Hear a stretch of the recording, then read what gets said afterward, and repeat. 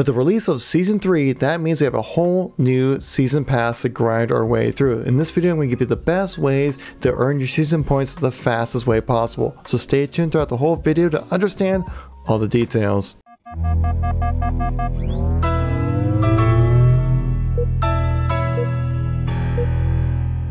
How's it going everybody? It's Kevin here once again giving you another informative video when it comes to Halo. If you like these kind of informational videos, please make sure to tap that like button as it lets me know you want to see some more content like this and helps more people get to stay in the know with everything going on with Halo. So with the release of ODST on the PC is a fantastic update. It's great to be able to play that on PC, but it brings so much more than that. It brings an entirely new season, Season 3, for us on the MCC guys. And in this video I'm going to show you exactly how to graduate the most effective way possible to earn those season points so you can get through your 1 through 50 tiers as soon as possible so you can unlock your red alert camo for your BR. You can unlock your Sergeant Johnson for firefight and everything else that comes with it. So let's focus on the weekly challenges as those are the most pertinent time framed ones. You can see on the time I'm making this video, you only five days left for me to complete these challenges.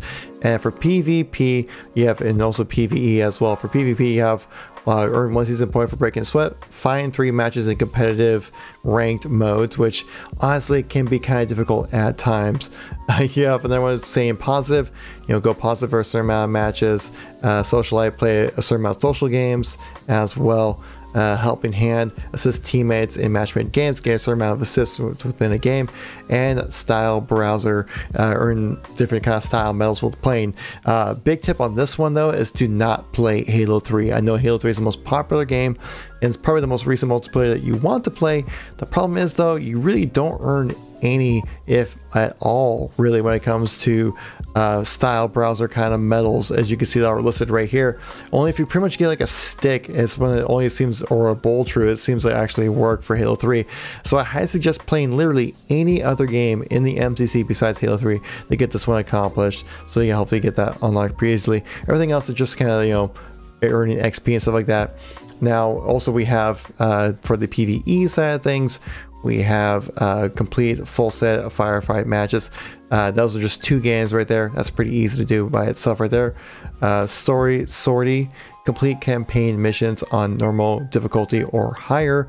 Again, if you just play. One of the challenges as well for the season is actually to play through like a playlist of the campaign in Halo ODST, so then that really kind of helps double up there. That's so what I'm going to try to do is run through all these so you can kind of double up on your different kind of uh, achievements as well. Heavy Metal if the interesting way to spell it, heavy defeat heavy enemies and enemy vehicles in PvE modes. Uh, 100 of those, which is quite insane. Definitely the best way to go about this would be playing Firefight either in Halo Reach or in ODST as well.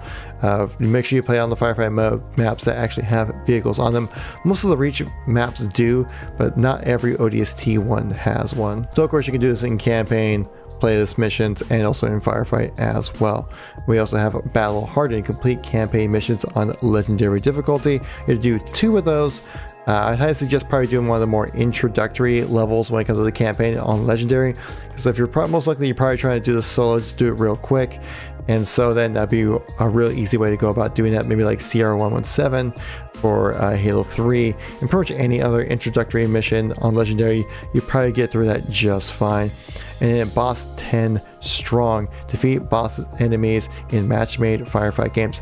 Just 10 of those, which honestly, if you're just kind of playing enough of the firefight games, you'll get that eventually. Because if you look over to the seasonal challenges, it'll kind of show you exactly what I'm talking about right here. So as we go down the list, this is one more game, complete match-made games of multiplayer games. That's 46 out of 50 where I'm at right now. You're in three season points for completing 50 matches.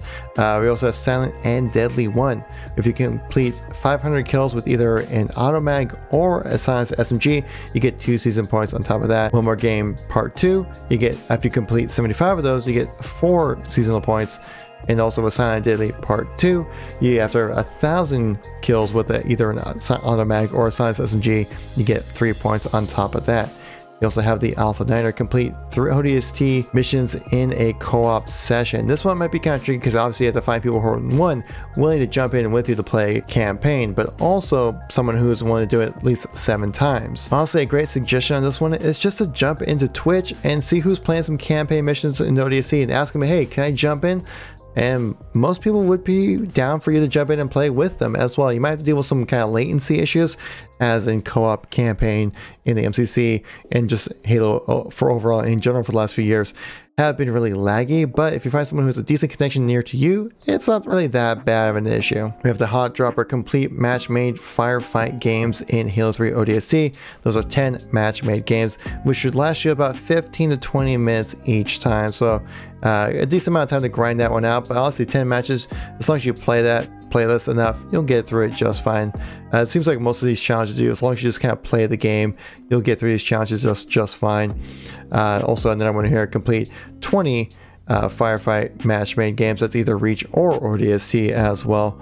Uh, you have the Wave Runner 2 complete match made firefight games in 30 of those. That can be either Reach or ODST as well. Another one here we have the Sax Appeal, which is complete a Halo 3 ODST campaign playlist. Now there is one playlist I want to point out in particular, which is actually might be a little more long when it comes to the campaigns themselves, but I would say that it actually is the shortest one, and that is Arena Battles, which is only only Alpha Site as well as Coastal Highway. Now these missions do take a little bit of time as they're very well thought out long campaign missions, but you only have to do two of these. And you also have the Party Like It's 07, which is going to be playing a certain amount of matches in Halo 3 multiplayer matchmaking games. Uh, you know, me just playing after a week of just playing some Halo 3 matchmaking games, I was able to get through these just fine. You know, it kind of stacks up along with doing your PvP challenges as well as in almost all these challenges you can do in Halo 3, like even like the, the uh, style browser one, which I suggest not to play Halo 3. I played Halo 3 enough to where I was able to unlock this one, so uh, kind of like a little double dip, if you will, when it comes to getting your challenges done as soon as possible. So everyone, those are the most effective ways you can earn your season points in Season 3. It's essentially just jump in and play the game. Play some Halo 3, play some ODST campaign, play some ODST Firefight. Guys, you'll earn your season points soon enough to where you unlock everything you need to unlock for the recon season for Season 3. So thank you all so much for watching. I greatly appreciate it. If you found this video informational, make sure to tap that like button as it really helps out the video and try to get more notoriety so more people get to stay in the know with everything going on with Halo. If you missed any content for me or been on the loop for the last few days or so for news and information when it comes to Halo, make sure you check out the videos on the screen right now, and I'll catch you all in the next video. Peace out.